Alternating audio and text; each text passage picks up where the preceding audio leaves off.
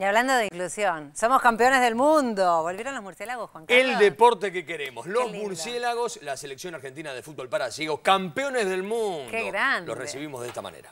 año una alegría, pero aparte eh, estábamos perdiendo y se dio todo en los últimos 30 segundos finales que creo que, que es histórico, ¿no? que una selección pueda dar un vuelto un resultado faltando 30 segundos, no sé si hay antecedentes, así que estamos contentos y bueno, estamos contentos de compartir esta alegría con todo nuestro país. ¿no?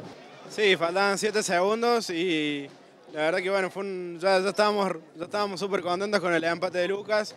Eh, nos, estábamos por ir a la larga y después de los penales y bueno, la verdad que tuve la posibilidad y, y bueno, en ese momento se te cruzan un montón de cosas, pero bueno, por suerte la pelota entró y pudimos festejar todos. Creo que nosotros la luchamos hasta el final, ¿no? Estábamos perdiendo y bueno, es como que nos habíamos caído, ¿no? Y la luchamos hasta el final y nos levantamos y, y hoy podemos traer la, la medalla y la copa para nuestra Argentina, ¿no? Y agradecer a, a toda la gente que, que nos entrena a nosotros, porque si bien nosotros salimos a la cancha, pero hay mucha gente que, que, que trabaja para que nosotros hoy podamos estar acá, fisioterapeuta, psicólogo deportivo, médico, nutricionista, bueno, tanta gente que trabaja para que uno pueda estar y, y ahora compartir la alegría con todos, ¿no? Fue todo el torneo, fue muy fuerte porque fue un torneo de emociones muy fuertes, este, con, con, este, la muerte de Horacio Millay, el médico del equipo, que fue, fue muy fuerte para todos.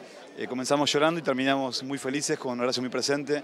Hasta los 37 segundos finales perdíamos 1 a 0 por un gol de penal de, de 8 metros y a los 37 lo empatamos, lo empató Lucas y faltando 7 segundos nada más hubo falta, la cuarta falta y el penal de Nico que hablaba recién, que fue tremendo. ¿no? En 30 segundos histórico para, para todo el fútbol creo, dimos vuelta a una final contra Inglaterra que es también un partido aparte, ¿no? Muy lindo.